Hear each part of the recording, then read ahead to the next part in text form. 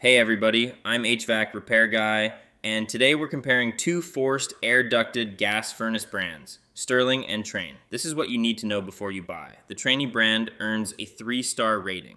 It's a US made brand available through dealers in both the USA and Canada. Trane offers a full range of products, from basic single stage units up to their ultimate models.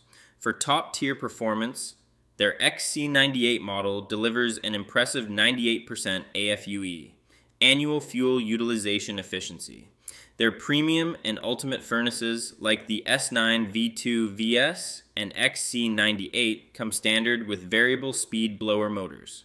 The ultimate models, like the XC95M and XC98, also offer modulating gas valves and communicating technology to maximize your home's comfort and efficiency. All Trane models, from basic to ultimate, come with a lifetime heat exchanger warranty.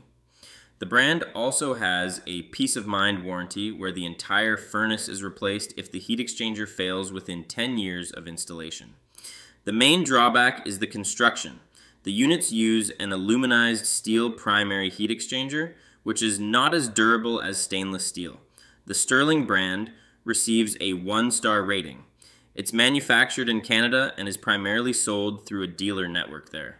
Sterling offers basic and premium models, but no option that qualifies for the ultimate category.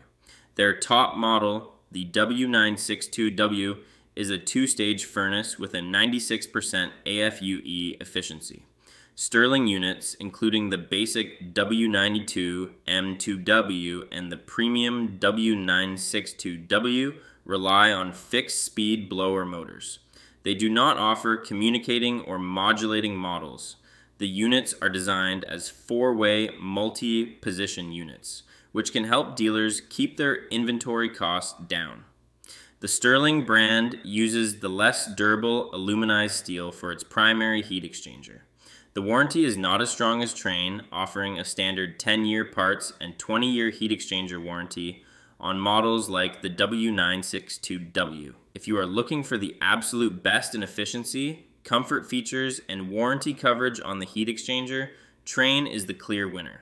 Their ultimate category models offer 98% AFUE, modulating gas valves, and a lifetime heat exchanger warranty.